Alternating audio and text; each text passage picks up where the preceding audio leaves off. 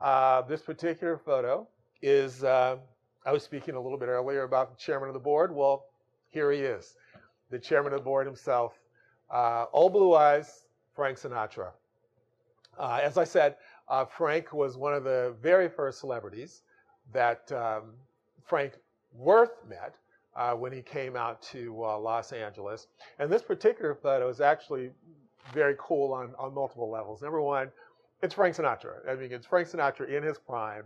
Uh, you just don't get any cooler than that. Uh, it was taken at his home in Palm Springs.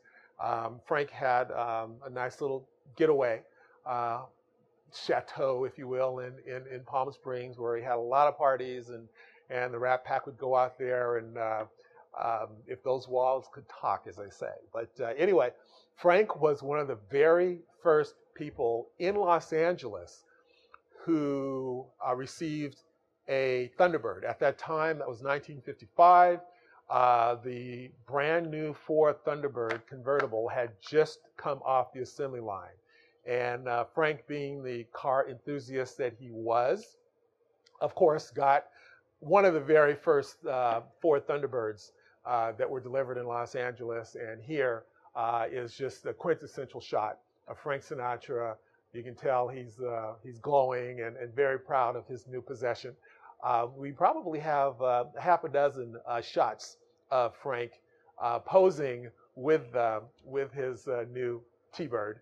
And a couple of, those shots are, are, very interesting as well. But this one we like particularly because it, not only did it show how cool that car was. I mean, that's 1955, and it has that real space agey kind of feeling that was very popular back then for any of you car enthusiasts. But it really captures uh, Frank and, in all of his uh, coolness and, and just, uh, you know, very retro, and, and it just feels like uh, that even see a little little mark there in the car.